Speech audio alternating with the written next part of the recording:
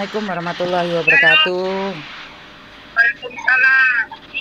Nggih, Mbak. Iya, Mbak, tadi aku tanya, saya sudah ke KJRI, Mbak. Oke, sudah memberikan informasi pada KJRI. Saya minta maaf ya, Iya. saya berusan Eh, siapa yang Iya. meninggal dunia, Mbak? Ini Susi Susanti. Tapi belum ada laporan di KJRI tadi. Tapi saya sudah meninggal. Mening apa itu loh? Apa kakak sama apa itu loh laporan? Iya, harus ada kakak dan itunya. Ada kakak Iya. dan KTP-nya. Iya, Ha, Terus tak- Iya, iya. mbaknya siapanya dia? mbaknya siapanya dia? Saya ini sebenarnya saudara jauh sih. Saudara kakek sama kakek. Eh, nenek sama nenek gitulah. Oh, oke oke. Sudah Saudara gitu. uh, ada nomor yang sudah Sudah dihubungin tadi. dari KJRI, Mbak ya? Sudah ada nomornya? Sudah, sudah. Sem- sudah, semuanya sudah sudah lengkap. ya, ha, ha. Mening- Iya, ha, sudah. Meninggalnya di mana, Mbak? Eh, di, di rumah sakit. Di Oh. rumah sakit. Oke, da- ini ada beberapa uh, ada beberapa anak yang ninggalin uang di sini, Mbak. Kalau Mbak nggak keberatan, uh, saya bisa sumbangkan pada keluarganya yang membutuhkan. Jadi ikut bela sungkawa, ya. Jadi Mbaknya kalau tidak keberatan uh, bisa minta rekening kan? Nanti, ah, ah.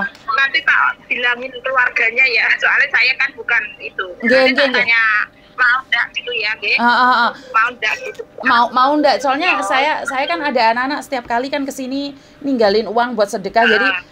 saya tidak akan pakai uang itu saya saya berikan pada orang yang membutuhkan jadi mbaknya yang meninggal itu sudah Ya. berapa lama di sini mbak Di sini sekitar 6 tujuan lah. 6 7 tahun tahunan lah. oke terus Iya, tapi ini pindah ini pindah majikan baru sih dia. sakit apa mbak kalau boleh tahu Sebenarnya saya sakitnya itu ini juga apa ya ada benjolan gitu tapi kok tahu-tahu kok dia koma gitu. Waduh. Kan infonya soalnya dia koma di rumah sakit dua hari. Ka- Kabarinya ke kakaknya bukan ke saya. Kakaknya kan dulu di sini kamu udah pulang Indo gitu loh. Oh. oke.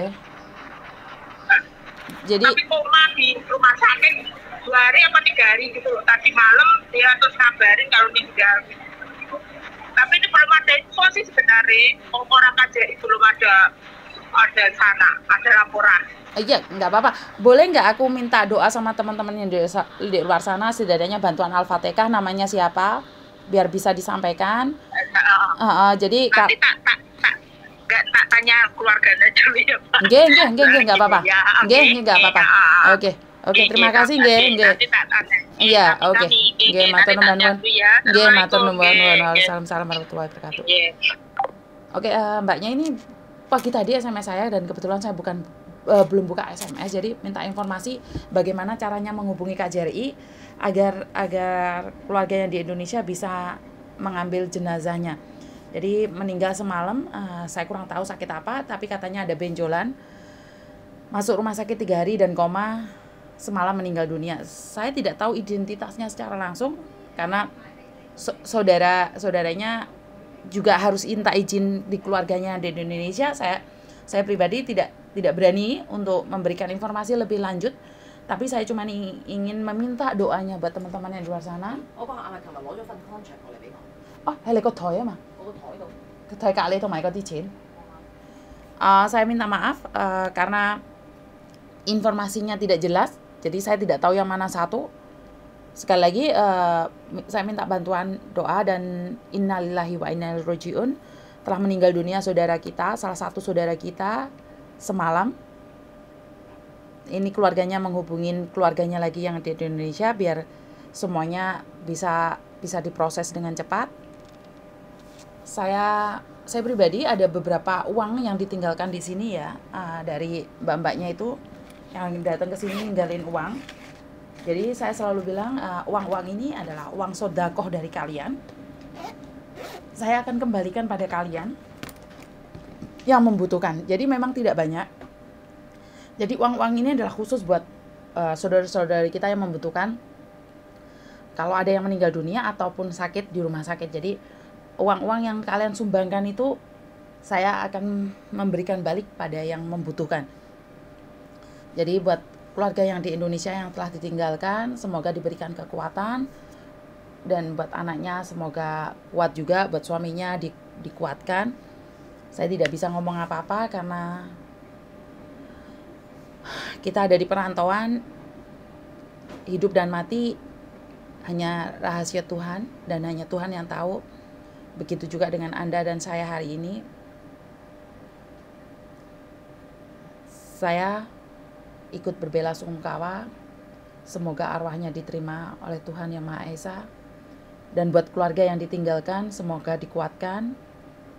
Dan jika keluarga mengizinkan kami memberikan sumbangan sedikit untuk untuk keperluan jenazah ataupun sedikit sumbangan dari kalian semuanya yang memberikan pada saya yang diberikan pada saya dengan senang hati saya akan uh, kirimkan itu ke Indonesia buat teman-teman yang lainnya yang saat ini berada di rumah sakit.